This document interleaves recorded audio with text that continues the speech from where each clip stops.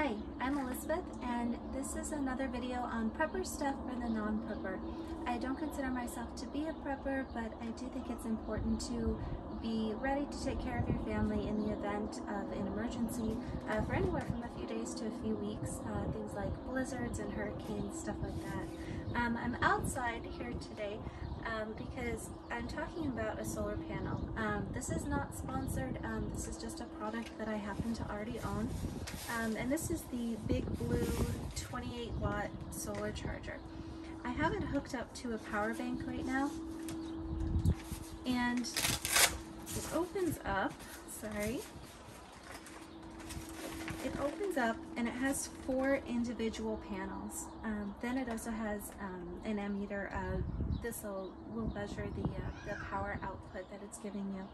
Um, it's already popping up. It's at 0.2, so this is very easy to use and I have to say that um, I was a little disappointed in it um, using it. I hooked up my phone to it and I had it inside but in direct sunlight and this was through a non-coated window so it wasn't a, a, window that had like a, a, UV coating or anything like that um, but the the panel you know it, it in a full four hours of charging with my phone um, which is an iPhone uh, 12 Pro Max I think um, it's like the larger uh, the larger iPhone but it only gave me 2% battery um, power with the phone completely off for four hours in direct sunlight. Um, I will say that um, we're, you know, we're living in Canada. I'm in Manitoba and it's the middle of January. So this isn't really the best time to be using a, a solar panel, but this is the time of year when we would need one because of blizzards um, or ice storms or things like that that might knock the power out.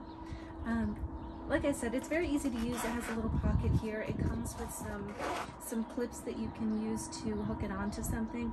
Um, you can connect a power bank to it. It's, I mean, my power bank is registering that it's charging, but at, you know, at 0 0.2, I hope you can see this. Um, now it's 0 0.4, 0 0.3, 0 0.4. So um, it's not really getting a whole lot of power. Um, and we're we're not in direct sunlight right now, but but this is about as, as bright as it gets on, on an overcast day um, here, you know, here in, in, on the Canadian prairies in the middle of winter.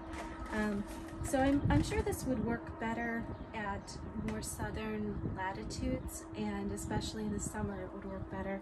Um, but for you know, for the winter, it's um, it's not really the best. Um, I will tell you, it has two USB outputs at the bottom of this, so you can. Um, so now we're I'm I'm pointing it towards the sun, and I'm getting 0.5, um, and that's what I what I peaked at indoors.